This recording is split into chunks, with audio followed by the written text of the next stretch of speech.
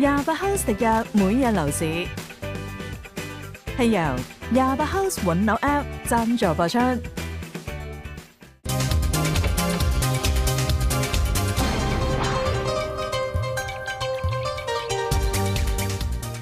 时光島樓價不断喺市场出现，特别系早年大卖前景、高日价开盘嘅新发展区，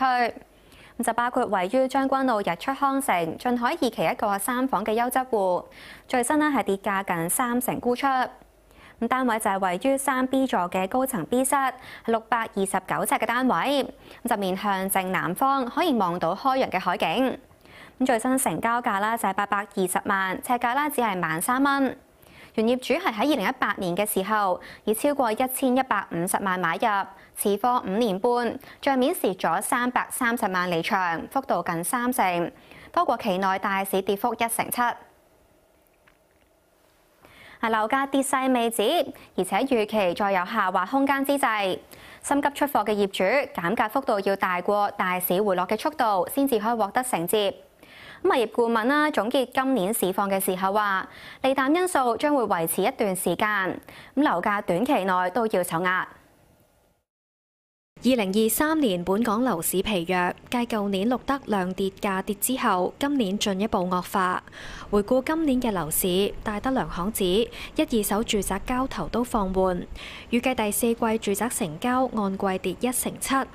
去到七千五百幾宗，全年嘅總成交量亦都只有四萬二千九百幾宗，係十年以嚟嘅低位。本地買家或者即係一啲誒投資者喺呢個高息環境之下咧，嗰個入市嗰個意欲咧，仍然都係相對保守嘅。發展商手上面嗰個貨存量咧，現時都好多，咁相信咧嚟緊嗰個推盤情況咧，都會比較用一啲誒比較大嘅折讓去貼市開價啦。咁誒二手樓喺而家嘅情況之下咧，短期內相信都難啲去有一個升軌嘅一個空間喺度。咁所以我哋預測二零二四上半年嗰個樓價咧，仍然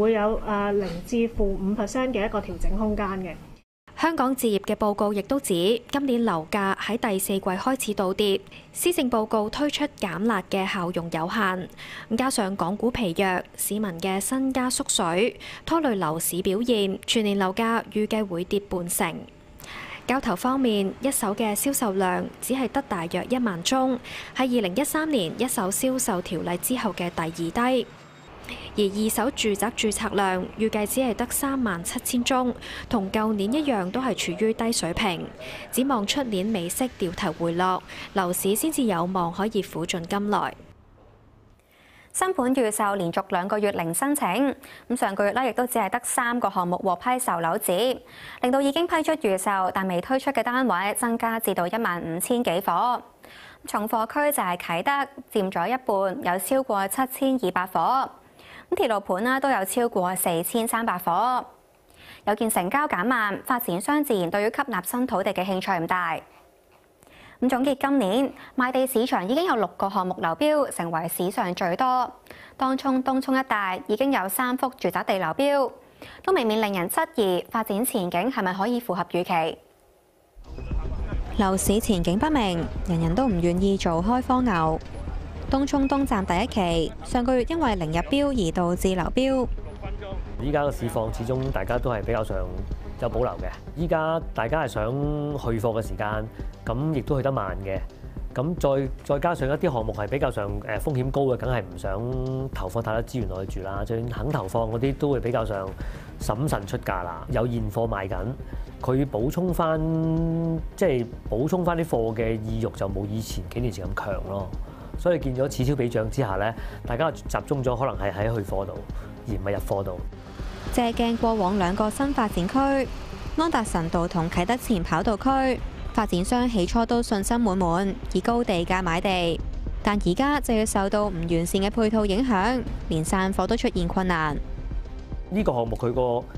誒風險或者佢個狀況會比之前，譬如安達臣定係啟德都好啦，會更加多要考慮咯，因為佢再早期啲。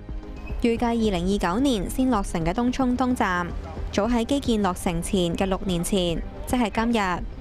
已經展開住宅地招標。即使發展商投得地皮，都未有站頂出現，可以展開住宅發展工程。吸取東涌今年以嚟歷經嘅三次流標經驗，測量師觀望將來招標程序可以有改善。隨着嗰啲嗰啲配套越嚟越成熟啦、成型或者係近啲佢個落成日期咧，我諗誒成個社區個吸引力會大，會會顯著大翻啲嘅。咁依家我諗大家一路都講都係話佢太遠期啫。有關二零四七地契大限，發展局將會刊憲，刊登續期公告形式為地契續期。小業主只需要每年支付租值大約百分之三作為地租，因為自二零二五年開始將會有比較大量嘅地契需要續期，咁都比較難用過往嘅方式，由地政總署同業主個別商討，咁因此決定採用立法形式續期。咁發展局亦都強調，新法例唔會改變一九九七年土地政策嘅骨幹，咁只會改變地契續期嘅方式。